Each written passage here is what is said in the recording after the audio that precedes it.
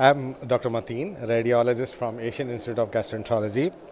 Uh, I came to know day before that I'm going to receive this award, so I was just surprised.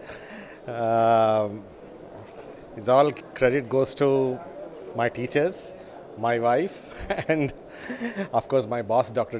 D. Nageshwar Reddy. He's the chairman and director of Asian Institute of Gastroenterology.